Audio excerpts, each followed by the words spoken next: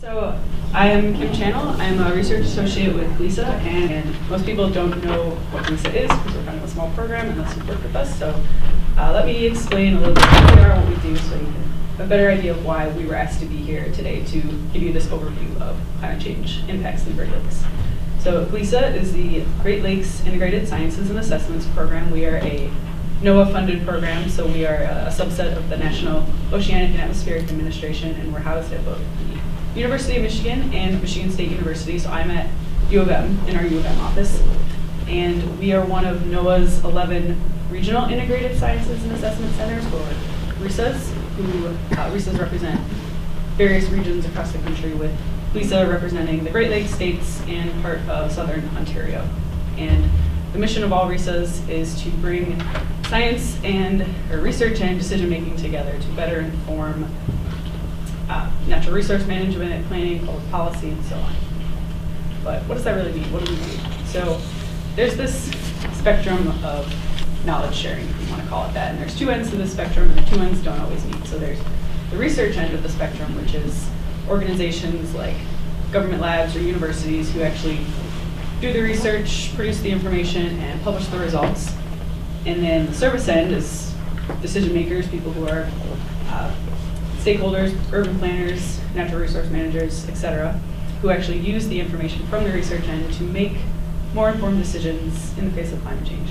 The problem is a lot of the information produced by the research end is not always in a format that is accessible and usable and even useful to people on the service end who don't have a background in that particular uh, field of science. So GLISA kind of sits in the middle to bridge this gap between the production of information and the actual use of information. And we do that typically by uh, taking existing information like climate models or historical climate data and we tailor it to specific locations for our, our partners, either cities or organizations.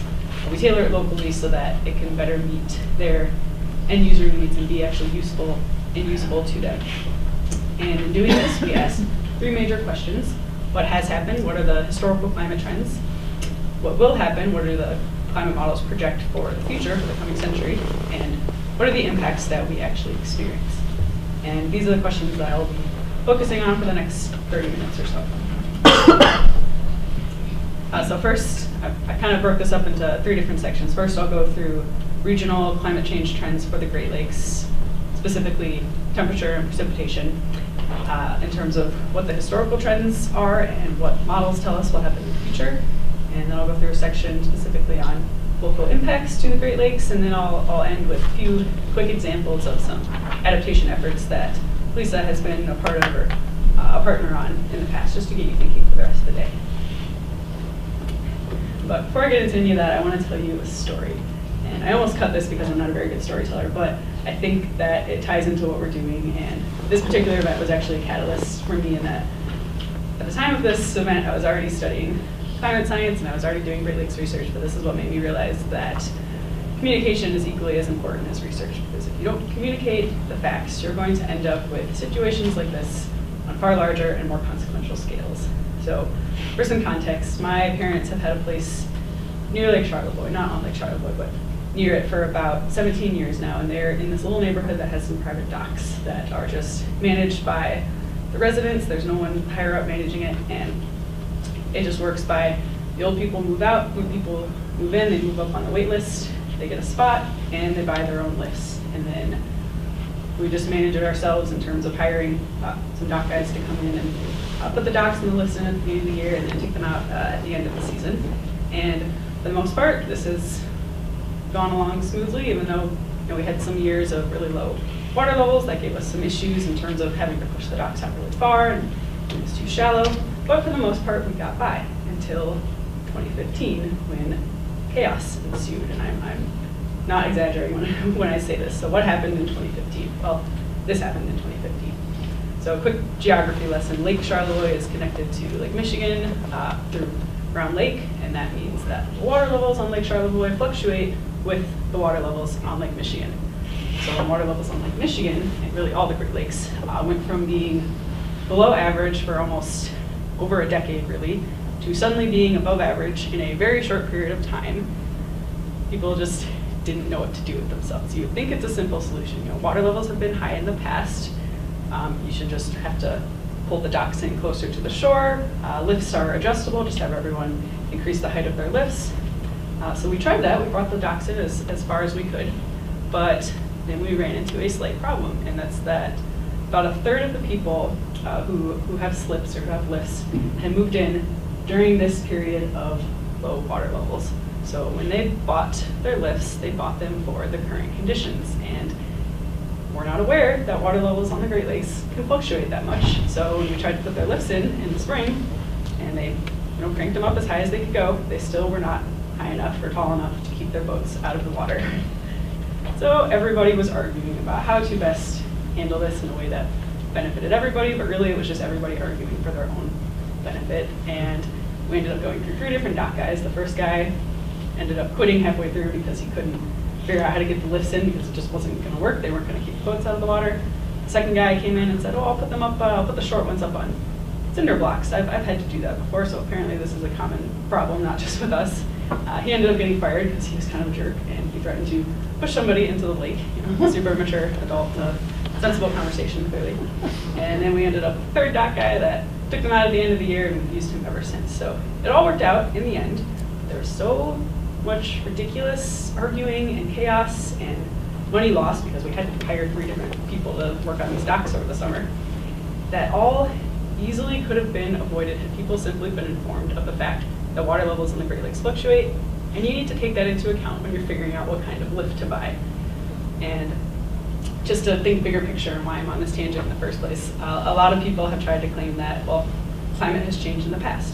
Why should we really be worried about it? Well, the climate has never changed as rapidly as it is now when humans and civilization were around. So we've built our, our infrastructure, our entire societies around the current climate. We don't know anything else. But Fortunately, we do have some idea of the future, and we know what the historical trends are, which gives us yeah, even, an even better idea of what to expect in the future. And we can use this information, this knowledge, to plan for and prepare for and adapt to the coming changes. We're not just going in blind. So by being here today and by committing to adaptation efforts, you're essentially saying, I don't want to be the person who bought the wrong lift because they were not informed of basic facts about the environment. I want to be the person that makes scientifically informed decisions about the resiliency of my community. Right, that's, that's the goal, right? So hopefully that wasn't too much of a tangent and maybe put things into perspective. Uh, if not, hopefully it was at least entertaining. so with that, let's talk about climate change. So climate change is a very broad, sort of difficult to comprehend issue just because it's so, so large. And there's three different scales of thinking about climate change. So there's the global scale, when we think about increases in global average surface temperature or changes in atmospheric circulation ocean currents and convection.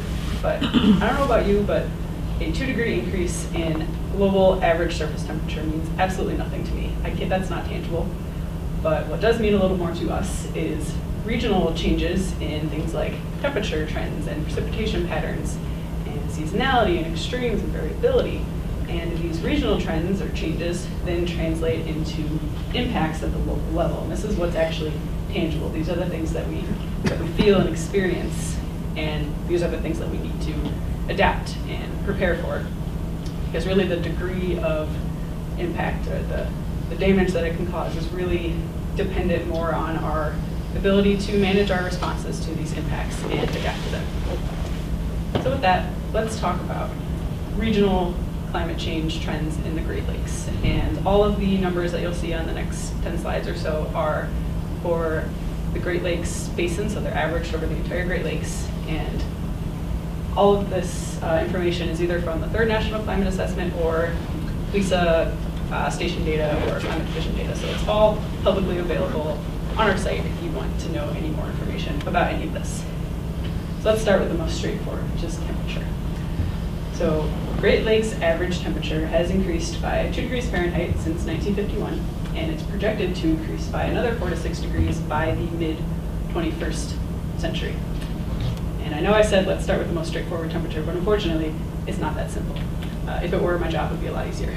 So there are variations both spatially and temporally and seasonally that mean that it won't affect every part of the Great Lakes Basin the same. And one of those variations is seasonal. So while the average annual uh, temperatures in the Great Lakes have increased by 2 degrees, the winter average temperatures have increased by 2.8 degrees.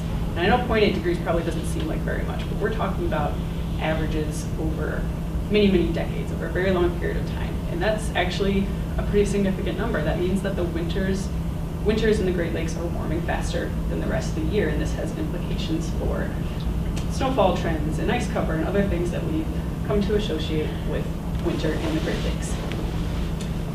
And there are also variations in uh, these temperature changes between different regions of the Great Lakes. So this is a map showing future projections for temperature changes by the 21st century.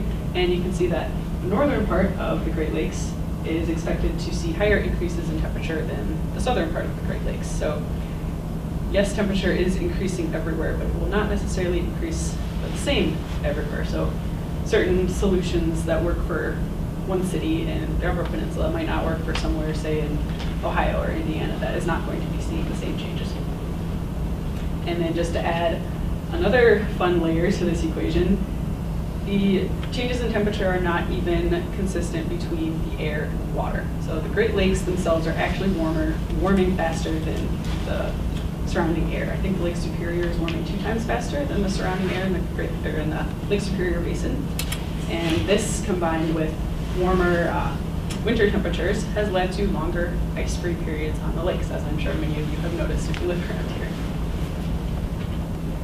And then this has also led to changes in the length of our seasons. So the frost-free season, it's also called the growing season, which is the length of time between the last spring freeze or late winter freeze and the first fall freeze has increased by 15 days since 1951 and is projected to increase by 30 to 70 more days by the end of the 21st century.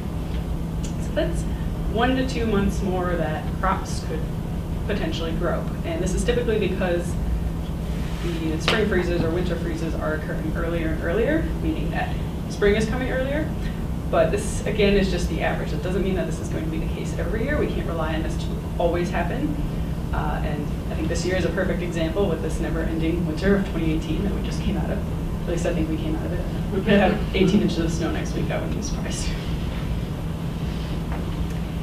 And then lastly, for temperature, um, I've mostly talked about average trends, but we will also be seeing an increase in the number of extreme heat days, or the days above 90 and 95 degrees. And these are typically experienced more at a, a local scale, so Petoskey might have an extreme heat day, but Elk Rapids or Traverse City might be just fine uh, a few miles south. So these also uh, can have implications on public health, and that's why even though we don't have basin-wide trends, this is still a pretty big concern for the Great Lakes Basin and beyond. All right, so enough about temperature. Let's talk about the other big one, which is precipitation. So annual total precipitation has increased by about 12% in the Great Lakes Basin, but lake temperature, these trends are not uniform across the region. So Southeast Michigan has seen an increase uh, of 17% of annual precipitation, whereas the Western Upper Peninsula has actually seen a slight decrease. And these regional variations are also expected to continue into the future. So this is another future climate projection for uh, changes in precipitation by the mid-21st century. And you can see that poor, poor Ontario here in the east is expected to see the highest increases in annual precipitation. And that's unfortunate because they already experience a lot of flooding and they can expect that to get worse. But then you look at, at uh, Michigan here and we are expected to see far less increases in precipitation. Uh, still increases, but just less. But this is just annual total average precipitation. Where things get a little more interesting and problematic is when we have extreme precipitation or very strong storms. And we define these as days or, or periods of 24 hours that have 1.25 inches or more of rainfall. And obviously there can definitely be much more than that in that period of time, but that's where things start to uh, cause some small issues like nuisance flooding and street closures and whatnot. Uh, and these types of events have increased by 34.7% since 1951. And in the future, Great Lakes is expected to see an increase of about one to two more days of extreme precipitation events, but again, this is an average, so you can still have some years where you have no extreme precipitation days, and then other years where you have 10 extreme precipitation days, and it all averages out to be one to two days. And rainfall is not the only form of precipitation that is changing. So we're also, we've also seen changes in snowfall patterns in the Great Lakes. So this is a, a GIF or GIF, whatever you want to call it. It's an animation that shows the changes that have already occurred in the snowfall pattern. So you've got uh, the blue header, which is the 1961 to 1990 average, and you've got the red header, which is the 1981 to 2010 average. And one of the first things you might notice is that the Upper Peninsula and part of the western, the northwestern Lower Peninsula, where we are right now, have actually seen increases in snowfall in the lake effect zones. And this is expected, this makes sense because warmer winter temperatures and warmer lake temperatures, less ice cover, all of this leads to more open water and more moisture available for these cold air masses to pick up as they move across the lakes and then dump it on everybody here. Just so nice. And then when you look further south, when there's when there's no lake effect in places like Indiana and Illinois, you actually just see these bands of snowfall shifting northwards, so each latitude is receiving less and less average snowfall. And a lot of this is typically because a lot of winter snowfall is becoming winter rain, so spring again is shifting a little bit earlier. Uh, so the Great Lakes themselves do play a role in regulating our climate, and they will influence the types of changes that we're seeing across the region. And to think a little more bigger picture, we like to use this graphic, which just shows what Michigan might feel like by the end of the century based on a few mm-hmm. different climate model, climate change scenarios. So what this is telling you essentially is that Michigan, or specifically Michigan summers, will feel more like current summers in Arkansas or in Oklahoma in terms of what temperatures will be like, what precipitation patterns will be like. And so apparently, if you would like to get an idea of what our climate will be like the end of the century, you'll visit Arkansas. All right, so that's the gist of climate trends in the Great Lakes. There's obviously more to it than that, but I think that's that's the big picture. So now I want to talk more about the actual impacts, the local impacts that these translate into. And this is not in any way an exhaustive list of every impact, every climate change impact of the Great Lakes. I wouldn't have to be standing up here all day if I was going to tell you every impact, but hopefully it's a good overview. So one of the more prominent impacts that you hear about when you when you think of climate change in the Great Lakes is that of harmful algal blooms.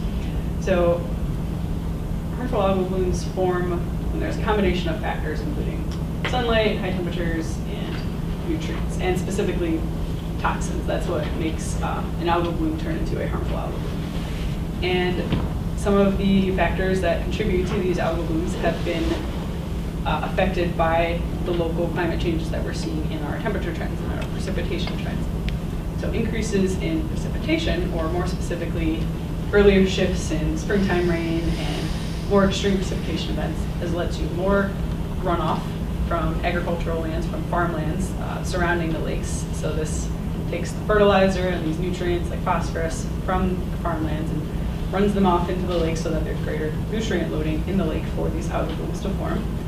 Then you have the warmer water temperatures, which actually affect the physics and the dynamics of the lake. So the warmer surface temperatures typically don't mix as much with uh, the lower, colder layers of the water, so they're more stratified, which means that these this greater amount of nutrients than just sits in this warm, shallow water on the surface and just stagnates, and that's what allows these blooms to multiply and grow so large. Um, I think it was four years ago that Toledo, it was a half a million people in Toledo went without clean drinking water for a few days because of that harmful algal bloom that had all these toxins that were affecting the water quality, and they, that's where Toledo gets its um, drinking water from. And algal blooms also cause um, hypoxia events, which is just a fancy way of saying low oxygen, because al algae, when it dissolves, it uses up oxygen, so then there's not enough left for fish to survive in that part of the water, so that creates these dead zones. And these harmful algal blooms are typically more of an issue in Lake Erie and even the Florida Gulf Coast because they are areas with warm and shallow water. They're not as big of an issue in the upper Great Lakes because they're deeper and colder, but you can't mention Great Lakes and climate change in the same sense without thinking about the impacts on uh, outflows. And another impact that's gotten a lot of attention in the last year, especially with all those powerful hurricanes we had in 2017, has been that of stormwater.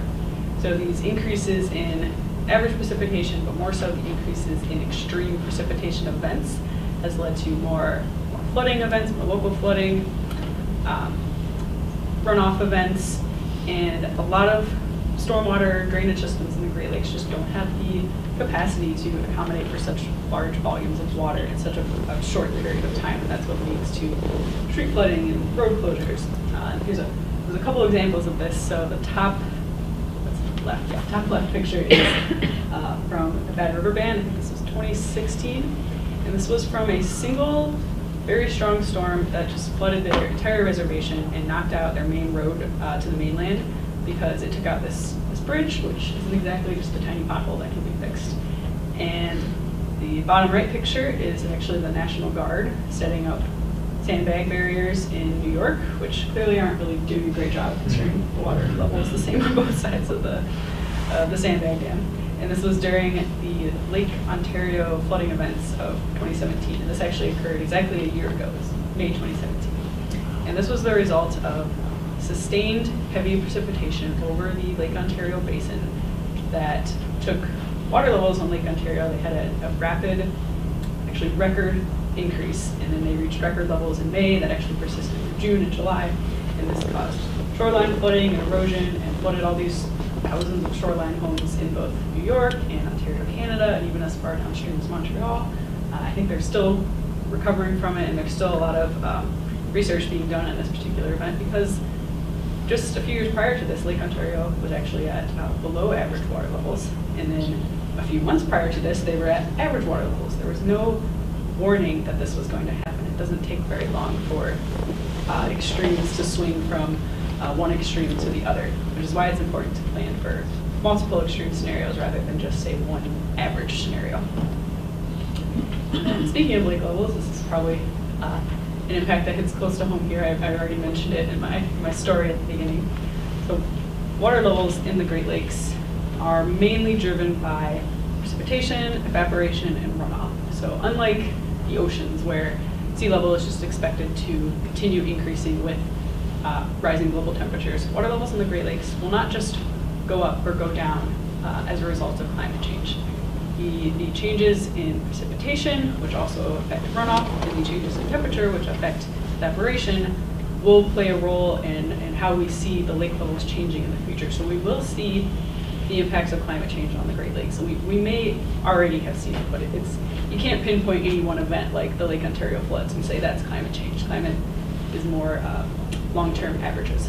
But historically, we've seen uh, some changes. We we saw high water levels in the 1980s. I think they were actually record high water levels, and they decreased to about average in the 1990s until we had that really warm El Nino year in 1998, where they just shot down even further, and then they stayed below average for about 15 years until we had a very, very high ice cover year in 2014 that made them shoot back up again, and that's where they've stayed. And these types of fluctuations and changes in water levels can be uh, forecasted and projected using climate models, but the state of these models is not really, they're not ready to be reliably used in any sort of decision making. I actually did my my research in grad school was on forecasting water levels in the Great Lakes, and our conclusions were basically the climate models aren't good enough to hmm. forecast the hydrologic conditions that give us these um, long-term water level forecasts. And some of the early models actually pointed to, well, the Great Lakes water levels are actually going to go down. But then more recent models have called into question some of the, the physics that were used in those old models. So there's still a lot of uncertainty. But one thing that is certain is that whether water levels do go up or go down or stay the same on average. They will continue to fluctuate just because of the nature of the Great Lakes and being driven by precipitation and runoff and evaporation. So there still will be short-term variability or periods of high water levels and low water levels. The question is more, how much will they be impacted by these local changes in, in precipitation and temperature trends? Uh, that's something that's still being explored. I probably don't need to, to tell you this, but water level uh, fluctuations do have some impacts on the Great Lakes and our economy, whether it's low water levels that cause issues for boating and tourism and shipping and navigation and recreation, and uh, they cause there to be more or marinas and canals and harbors need to be dredged more, or if it's when water levels are very high and they cause issues with shoreline flooding and erosion and property damage, or if they don't fluctuate enough, then they can actually cause issues for coastal wetlands and ecosystems and breeding zones that actually depend on these fluctuations uh, for healthy ecosystems. And then ice cover actually functions somewhat similar, similarly to water levels in that they also they provide some protections to some coastal wetlands and fish spawning areas, and they provide the platform for uh, ice fishing and other winter recreation that's a very large part of our economy. And ice cover in the Great Lakes, I don't have this number on here, but they have declined by an average of over, I think, 71% since 1975. That sounds like a very scary number, but this trend is not linear. This doesn't just mean that we're seeing less and less ice cover every year. It means on average, we've seen that much of a decrease in ice cover. But there is still this natural variability that causes us to still have these single years where we are still experiencing high ice cover. And uh, 2014 is a good example. That was our, our polar vortex year that everyone was so worried about. And that was just when this frigid Arctic air escaped uh, from the polar vortex, which is the winds that circulate around the North Pole. They escaped southward and gave the Midwest a very cold, frigid, snowy winter that gave us almost record high ice cover. So just due to natural variability, there will still be years of high ice cover. You, you, you don't need to expect there to just never be ice cover again, but on average, it has declined and it will continue to decline. And water levels, or ice cover also plays uh, a role in water levels in that Typically, low ice cover means more open water, so more evaporation can happen throughout the winter, which usually means lower water levels the following year. And vice versa, if there's high ice cover, there's high water levels. Uh, it's not quite that simple, but that's the gist of it. And this relationship between water levels and ice cover does play an important role in our shipping and navigation industry, which is also a very large part of our economy. But there's not really one ideal state of the lakes that's perfect for the shipping industry. So you can have the years where there's low ice cover and low water levels, and that causes issues for shipping in that they uh, ships have to lower their cargo load so that they can fit through these shallow canals. And this causes uh, this costs tens of thousands of dollars per trip, which translates to hundreds of thousands or potentially millions of dollars per year. But then the low ice cover means that the shipping season can actually last longer. So do you make up that money? I don't know. I'm not in the shipping industry, mm-hmm. but then there's also the vice versa situation where high ice cover means a shorter shipping season, but the high water levels mean that ships can load more cargo onto their vessels for each individual trip. So again, pros and cons to both. So there's not just one, like high water levels are good or low water levels are good. Both kind of have their pros and cons. And I briefly mentioned that water levels can influence uh, ecosystems and wetlands and whatnot, but the actual temperature trends and precipitation trends that we're seeing also play a role, are also influence or impact our plants and agriculture and wildlife. So forest ecosystems will actually start migrating northward following temperature trends because uh, certain tree species are just better equipped for colder temperatures. So as these colder temperatures shift more and more north, the ecosystems and trees will follow. So we've got this sort of deciduous forest deal going on around here with maple trees and beech trees and birch trees. And while it may not happen in our lifetime, these trees will eventually start to be displaced by new tree species that are better equipped to the new climate and the new temperatures. And a lot of trees just won't be able to keep up with the pace of climate change, and we'll see uh, less diversity in how many species of trees we have. And a similar thing is also happening to species of mammal and birds uh, and some fish, and that they're also migrating with uh, the warming temperatures, and they face even more obstacles in their migration because we have a lot of, of agricultural land and farmland. So we will be seeing less and less biodiversity just because a lot of these species will not be able to keep up with the pace of climate change. And decreases in biodiversity is never good for ecosystem health. And we'll also see declines in cold water fish populations just because uh, the water levels in the Great Lakes are warming and it's no longer uh, an ideal ecosystem for them to be in. And then lastly, some people have tried to make the argument that climate change will actually be a good thing for agriculture because the growing season will be longer, or my personal favorite, there's more CO2 available for plants. And yes, that's why it's my favorite. And some of these things may be true and may, may help in the short term, maybe by the mid 21st century, but certainly by the end of the century when we start seeing more issues with water scarcity, warm spells and late spring freezes and flooding and drought, these things will significantly outweigh those two positives. Um, but I think there's some talks later today that talk more about some of these specifics, so I won't go into any more about that. So again, that was in no way an exhaustive list of every impact, but I hope it gave you a, a good general overview. Um. So now I just want to close with a few quick examples of some adaptation efforts that GLISA has been a part of. Now, GLISA does not actually do any adaptation work ourselves, but we have partnered with cities and organizations that have, and our role in these projects is essentially just to provide the climate information background to form whatever vulnerability assessment or adaptation plan that uh, they're doing. So I think I have three examples here, and the first two are both partnerships that we had with the National Park Service because they were, or still are, trying to integrate climate change adaptation into their park management. So the first was uh, a project for Isle National Park, which is the island up near uh, the Canadian border, up in Lake Superior, and they were worried about their wolf population. They still are worried about it because wolves come to the island by crossing the ice on Lake Superior in the winter, and then there's this delicate wolf, moose, predator prey population balance on the island. But in so many recent years, when there hasn't been enough ice cover, stable ice cover on the lakes for the wolves, for new wolves to cross in the winter, um, there's been a really steady decline in the wolf population on the island. I think there were 10 wolves back when they first contacted us, and now there's only two, I'm pretty sure was the last number. And they wanted to know how much of a problem will this be in the future? Is this is this the new normal? Is this what we should expect? Should, should we always expect there to be too little ice cover for wolves to cross? And what will this mean for the delicate closed ecosystem on the island? And how much should we be doing uh, to respond to this, or can we do anything? So we provided some climate scenarios for them in terms of future ice cover, lake levels, uh, temperature, and whatnot, so that they could examine different potential scenarios.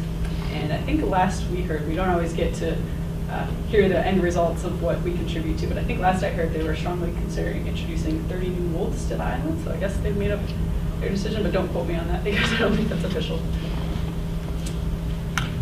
And then we have an ongoing project, again with the National Park Service in the Apostle Islands National Lakeshore, which is off the northern coast of Wisconsin, also in Lake Superior, and this is where those big, beautiful ice caves form in the winter that you probably see on the news every year.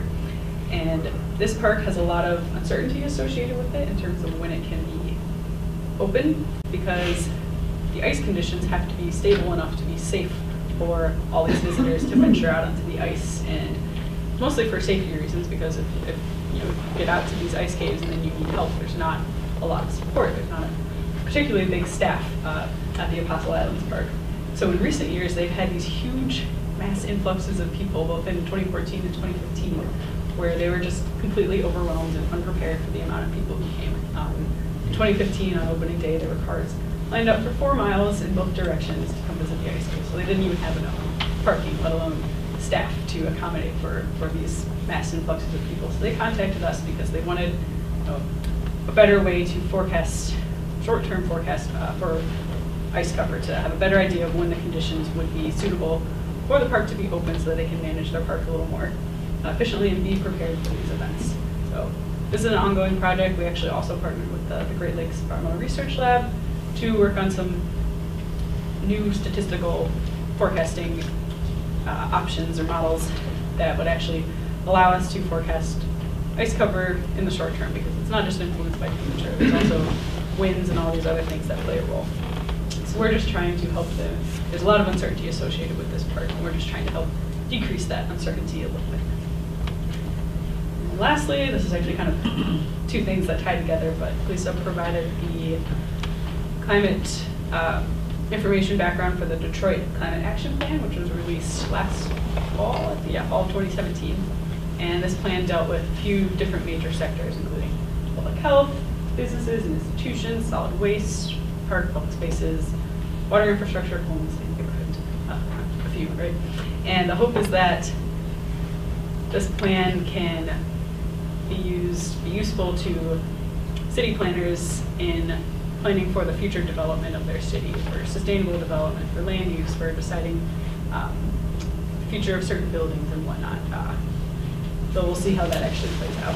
And then GLISA has also recently partnered with some cities in the Great Lakes Climate Adaptation Network, which is just a, a network of cities in the Great Lakes region that um, is essentially just city officials from various cities in the Great Lakes that share and collaborate um, on their local adaptation efforts. Give ideas to each other and update on what their current efforts are. And we partnered with five of these cities last year to provide the, the climate basis, the climate information, the historic trends, and, and future model projections for uh, these cities to create their own vulnerability assessments for their cities. And, and we contributed to a tool that was put together by the Huron River Watershed Council that actually allows for other cities beyond the five that we worked with to actually curate their own uh, vulnerability assessments, which is the first step to adaptation efforts. Uh, and I think we just got more funding for this to potentially expand this to other cities. So we mostly worked with larger cities like Cleveland, and Evanston, Evanston, and Ann Arbor. So I think we're trying to expand it out a little further. So uh, you might see more about this in the future, and it might actually be helpful to you someday. All right, so with that, hopefully you learned something today. Uh, thank you so much for listening to me, and thank you for having me. I'd be happy to answer any questions in the time that we have, but also if you think of anything later, feel free to reach out to me by email or come up to me after this is over. Thank you.